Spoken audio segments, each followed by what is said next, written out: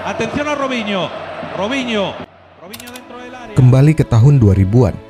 Ada seorang bintang muda yang ingin dilihat oleh semua orang. Media dan para legenda sepak bola tak pernah berhenti membicarakannya. Now is Robinho. The ex-boy wonder. Dia bersenang-senang dengan mengacak-acak lini pertahanan lawan melalui gol yang memukau dan step over indah khas Brazil yang menyenangkan mata. Seolah sihir ada di kakinya. Dialah Robinho yang disebut-sebut sebagai the next Pele yang melegenda.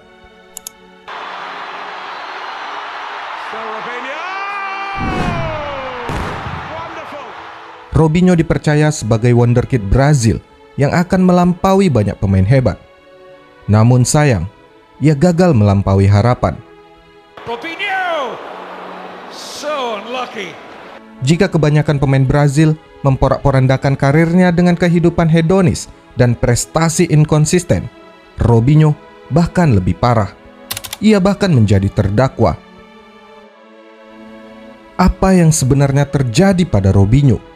Salah satu talenta sepak bola Brazil yang menghancurkan dongengnya sendiri. Simak kisahnya. David Beckham said he was the most skillful player at Real Madrid and 21-year-old Robinho, heralded as the next Pele. As 21-year-old genius as he's been described by so many people who've watched him play.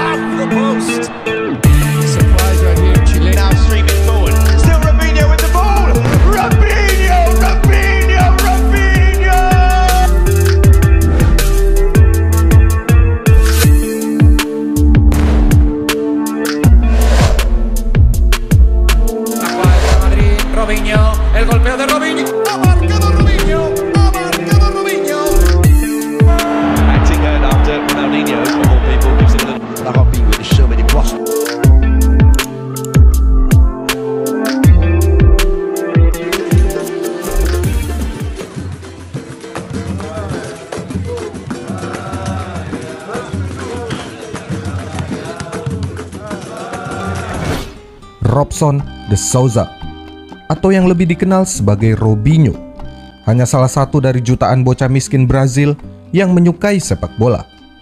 Tetapi di antara teman-temannya, bakat Robinho sangatlah menonjol.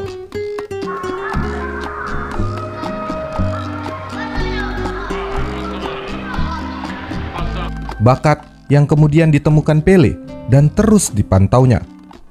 Pele dikabarkan bahkan mencari dokter gigi khusus untuk Robinho agar senyum bocah itu nampak sempurna.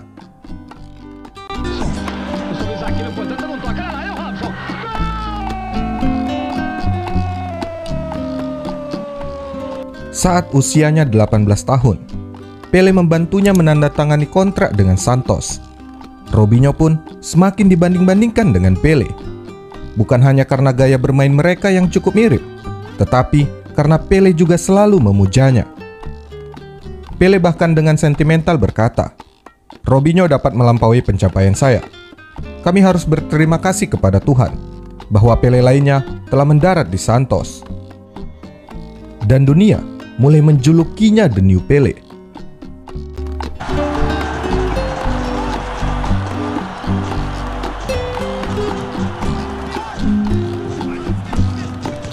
Namanya semakin gemilang.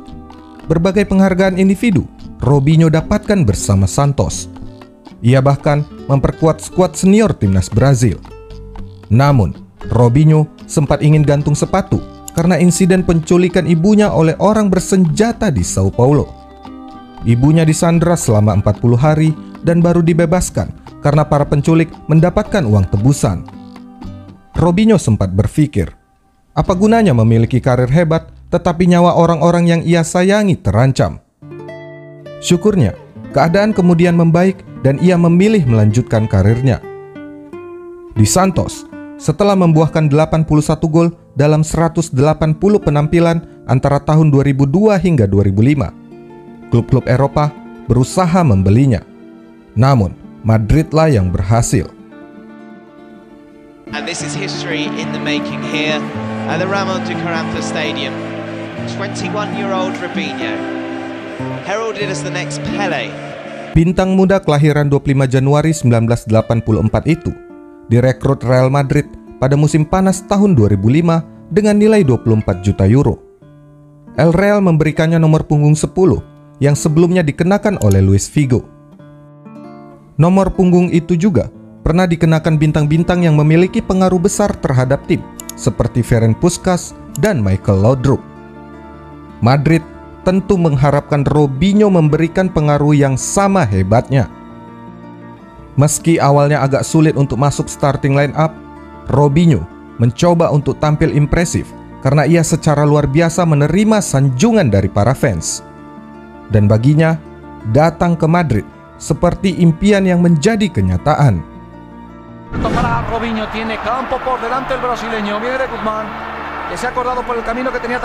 Robinho.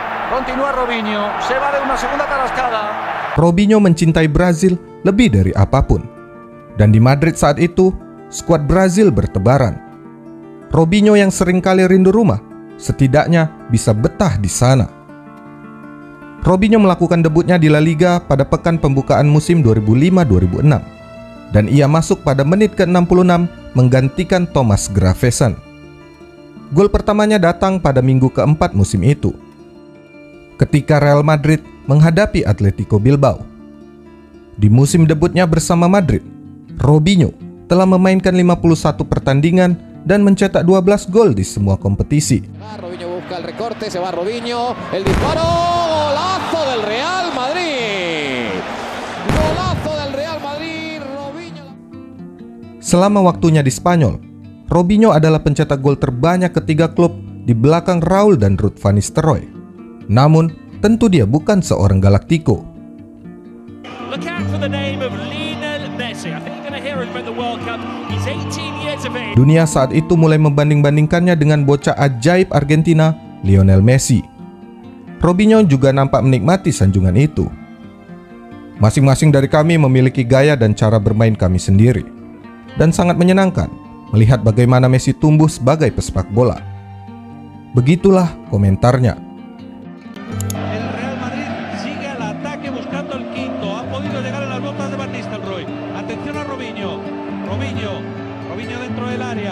Namun, sementara Messi tumbuh dan menjadi pemain yang digambarkan oleh banyak orang sebagai yang terbesar dalam sejarah sepak bola, tidak ada penghargaan seperti itu untuk Robinho. Ia juga gagal bersinar seperti Pele.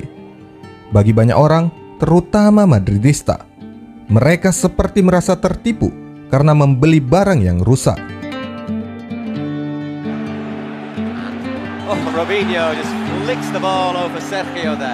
Setelah membantu Madrid meraih La Liga pada musim 2007-2008, Robinho mengakhirinya dengan torehan 11 gol dan 8 assist di Liga serta tambahan 4 gol di kompetisi Liga Champions Eropa.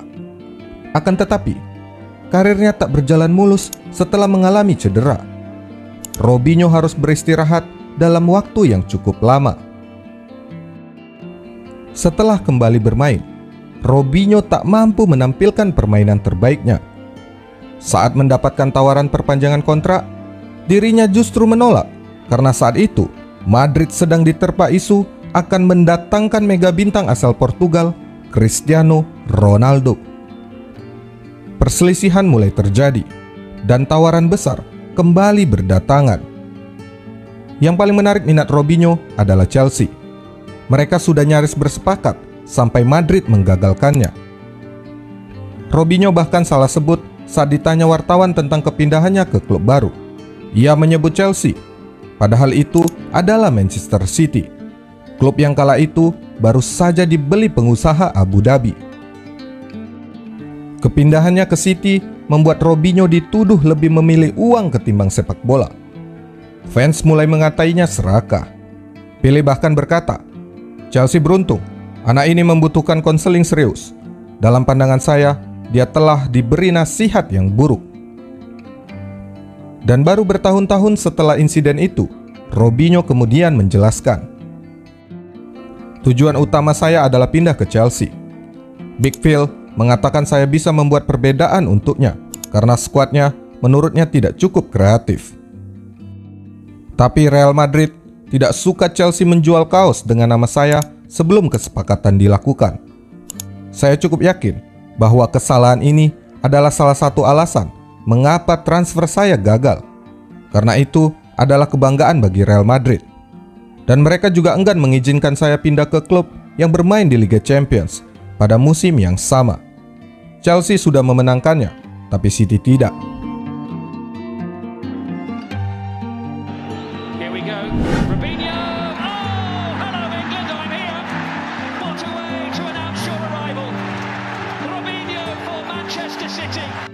Pada September tahun 2008, Robinho menandatangani kontraknya dengan City.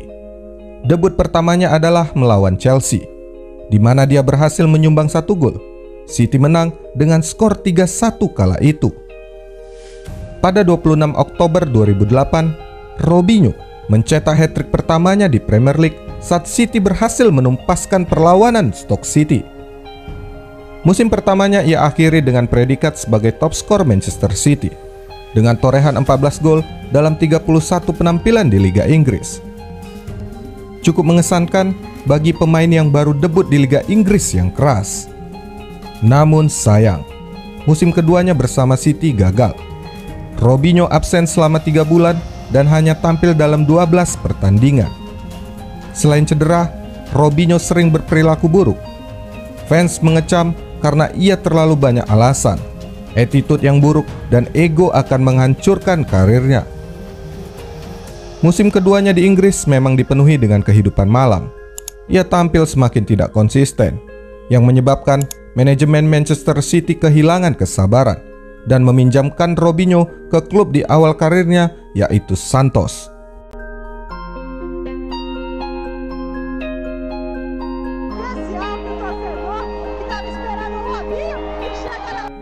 Di Santos sama saja. Selama masa peminjaman, Robinho hanya tampil dua kali. Setelah masa peminjamannya selesai, ia meminta pada City agar tetap tinggal di Santos. Namun City menolak. Robinho tak tahan lagi dan mendesak untuk pindah klub dan tak mau memperpanjang kontrak. Selama di City, Robinho memang lebih banyak membela diri tentang penampilan yang inkonsisten. Mulai dari karena pelatihnya yang terlalu eksplosif, ia jarang mendapat jatah libur dan kurangnya pemain bintang yang bisa membantunya. Milan tentu dengan cepat mengejarnya. Pada 31 Agustus 2010, Robinho menandatangani kontrak selama 4 tahun dengan Il Rossoneri.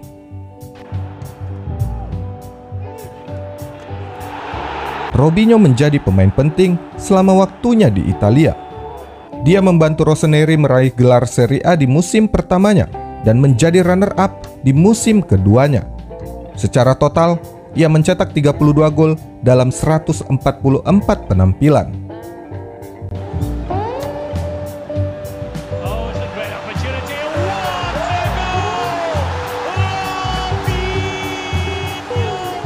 Di kemudian hari, dalam wawancaranya bersama 442, Robinho bercerita tentang kepindahannya ke Milan. Ketika saya pindah ke Milan, tujuan utamanya adalah memenangkan Serie A dan Liga Champions. Sayangnya, kami tidak mengangkat Liga Champions, tetapi kami berhasil berada di puncak Serie A sekali.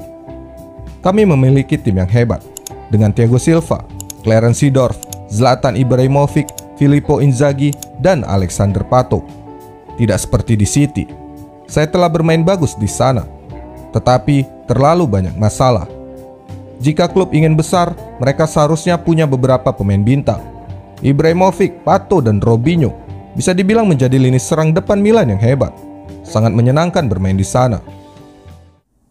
Pada musim berikutnya, terjadi penurunan performa di mana tiga musim berikutnya, Robinho tampil tidak lebih dari 29 pertandingan per musim di Serie A. Cedera yang menghampirinya memaksanya menepi dan ketidaksesuaian taktik pelatih dengan posisi Robinho memaksanya menjadi penghangat bangku cadangan. Performanya yang tidak stabil memaksa AC Milan pada awal musim 2014-2015 meminjamkan Robinho kembali ke Santos. Pada masa peminjaman edisi kedua ini pun, Robinho kembali tidak mampu berbuat maksimal. Ia hanya mampu mencetak 6 gol dalam satu tahun. Namun, lagi-lagi Santos memulangkannya. Milan nampaknya tak lagi menggunakannya sekalipun upahnya telah dipotong. Robinho harus senang dengan bangku cadangan dan pelatih Milan kala itu Filippo Inzaghi kurang senang padanya. Robinho mencari klub baru. Ia tampak belum puas dan merasa masih harus membuktikan. Klub barunya kali ini di negeri tirai bambu Cina, Guangzhou Evergrande, untuk musim 2015-2016. Di klub barunya itu, Robinho dilatih oleh pelatih dari Brazil, yaitu Luis Felipe Scolari. Namun sayang, ia hanya mampu berkontribusi 3 gol dalam 10 pertandingan di China Super League. Kebintangannya pun semakin meredup karena Robinho hanya menjadi penghangat bangku cadangan saat Guangzhou Evergrande tampil di FIFA Club World Cup menghadapi Barcelona. Scolari lebih memilih memainkan Elkeson atau Longzeng di posisi sayap kiri dibandingkan seorang Robinho.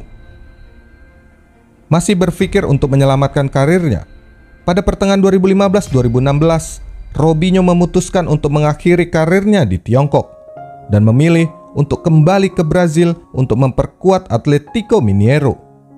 Meski pada saat itu usianya sudah mencapai 32 tahun. Bersama Atletico Mineiro, Robinho kembali menemukan performa terbaiknya. Torehan 38 gol dari 109 penampilan selama dua musim menjadi pembuktian kualitasnya.